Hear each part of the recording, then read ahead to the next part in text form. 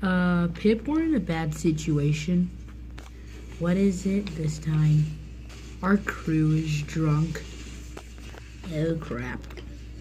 Also, we just passed a red signal. Oh crap. Wait a minute, isn't there a Via Rail 4 up ahead? Oh no. Time to depart the station.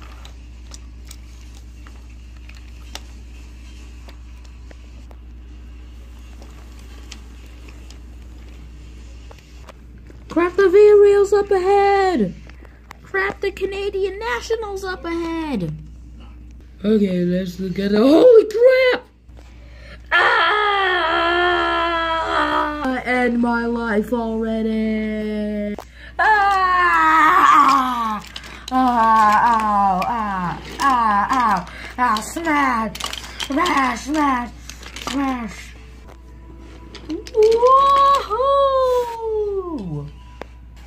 I believe I can fly.